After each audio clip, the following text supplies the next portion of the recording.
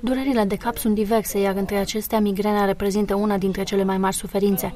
Medicii spun că, pe o scală în care 0 este absența oricărei dureri și 10 este cea mai mare durere posibilă, migrena este plasată peste numărul 8, aproape de 9. Ce cauze au, cum se manifestă și mai ales cum se tratează migrenele sunt câteva dintre detaliile ce urmează. Migrenele sunt niște forme specifice de durere de cap. Migrenele sunt hemicranii, deci asta înseamnă că în general sunt dureri pe jumătate de cap, cu caracter pulsatil, însoțite de grețuri și vărsături. Migrenele sunt uh, niște dureri de cap date de o instabilitate a vaselor, o sensibilitate a vaselor de sânge, care la anumiți stimuli fie se contractă exagerat, fie se dilată foarte mult. Această reacție vasculară poate fi declanșată de anumiți factori numiți triggeri. Uh, migrenele sunt o patologie care au o componentă genetică, uh, sunt mai frecvente la femei, se corelează cu statutul hormonal al femeii și sunt de fapt o patologie uneori extrem de handicapantă. Pentru că în migrenă, durerea de cap este descrisă ca fiind foarte intensă. Dacă considerăm o scală analog-vizuală în care 0 este absența oricărei dureri și 10 este cea mai mare durere posibilă, migrena este plasată undeva pe la 8, pe la 9. Deci e o durere foarte mare de cap care handicapează pacientul în timpul migrenei pacientul nu poate să facă nimic are fotofobie, adică îl deranjează lumina, are fonofobie, îl deranjează zgomotul, se retrage într-o cameră în umbră, își pune perna în cap și suferă. Și uh, episodul obișnuit de migrenă durează 2-3 ore, dar în cazuri extreme poate să ajungă și la 48 de ore. Și dacă pacientul are o durere de cap atât de intensă, timp de 4-5 ore, asta înseamnă că el este scos din circuitul funcțional, este mm, scos din activitățile lui zilnice și migrena este una dintre bolile care dă un absentaism destul de mare la locul de muncă și zile de concediu și perturbarea activității profesionale, dar și sociale în același timp. Migrenele se tratează, criza de migrenă se tratează în general cu o clasă de medicamente numită triptani. Sunt medicamente descoperite relativ recent, relativ, deci eu știu 10, 15, 20 de ani. Uh, și în prezent pe piață sunt destul de multe medicamente din clasa asta a triptanilor.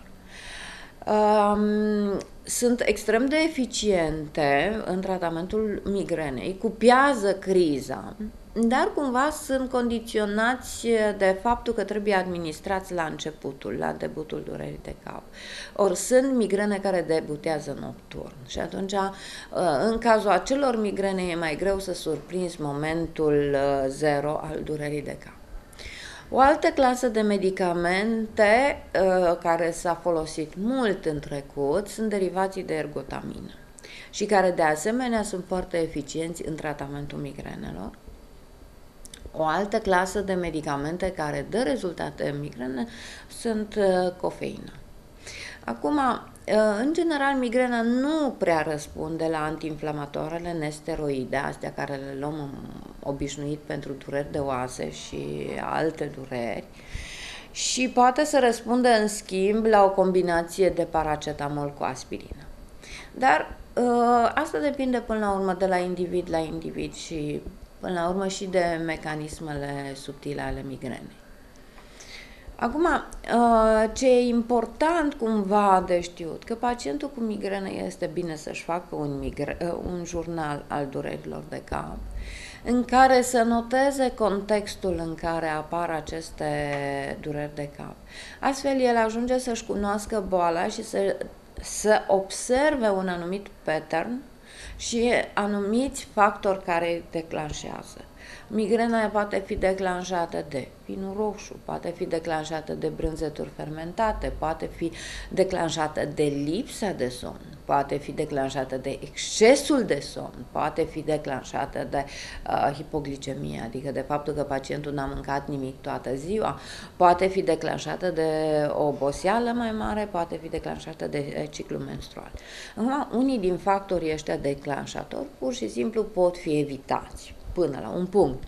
Uh, și asta poate ușura destul de mult uh, viața pacientului.